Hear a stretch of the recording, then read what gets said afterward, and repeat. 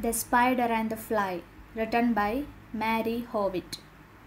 Will you walk into my parlor? said the spider to the fly. This, the prettiest little parlor that ever you did spy. The way into my parlor is up a winding stair, and I have many pretty things to show when you are there. Oh, no, no, said the little fly. To ask me is in vain, for who goes up your winding stair can ever come down again. I am sure you must be weary, dear, with soaring up so high. Will you rest upon my little bed?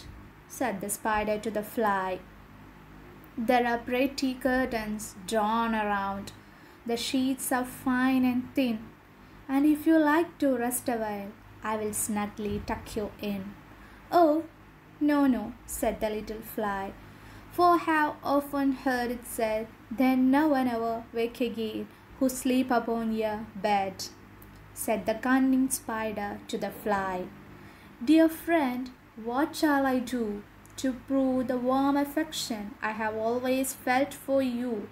I have within my pantry good store of all that's nice. I'm sure you're very welcome Will you please to take a slice?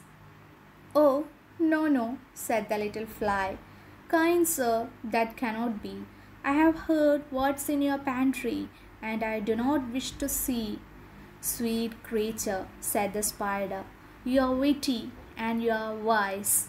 How handsome are your gauzy wings! How brilliant are your eyes! I have a little looking glass upon my parlor shelf if you will step in one moment, dear, you shall behold yourself. I thank you, gentle sir, she said, for what you are pleased to say, and bidding you good morning now, I will call another day. The spider turned him round about and went into his den, for well he knew the silly fly would soon be back again.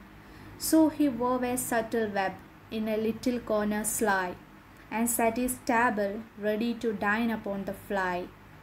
Then he came out to his door again, and merrily did sing. Come hither, hither, pretty fly, with the pearl and silver wing. Your robes are green and purple. There's a crest upon your head. Your eyes are like the diamond bright but mine as dull as lead. Alas, alas, how very soon this silly little fly, hearing his wily flattering words, came slowly flitting by. With buzzing wings she hung aloft, then nearer and nearer drew, thinking only of her brilliant eyes and green and purple hue, thinking only of her crested head Poor foolish thing, at last, up jumped the cunning spider and fiercely held her fast.